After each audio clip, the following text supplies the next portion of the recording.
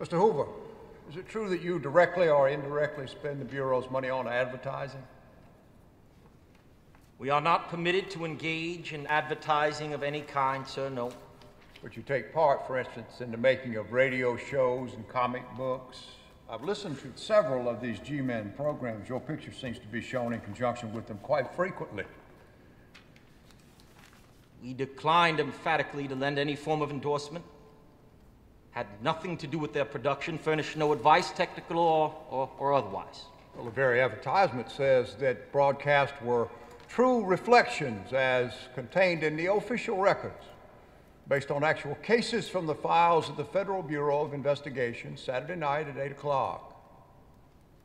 Mr. Hoover, what are your exact qualifications for your position of leadership in this Bureau? My qualifications, sir? 19 years with the Department of Justice. 19. 12 is director. In all that time, you ever make an arrest yourself? I have made investigations. I administer several cases at once.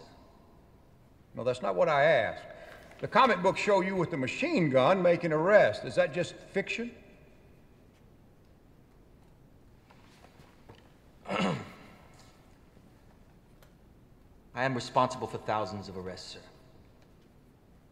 So you admit it is pure fiction. In fact, it wasn't you who hunted down and captured John Dillinger at all. It was Agent Purvis, is that correct? I was in charge of all of those investigations. But no, sir, I have not personally made an arrest.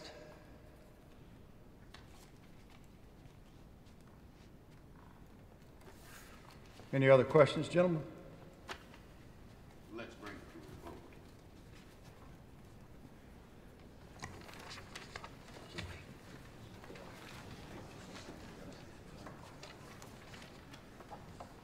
Well, that didn't go well. We spent our lives working for justice, and the thanks we get is a political attack. Does he expect crimes to go unsolved? Why is he fighting me? I want you to start a file on Senator McKellar immediately. I want four agents on at all times. I want to know what's in his trash, and I want you to photograph him at every dinner.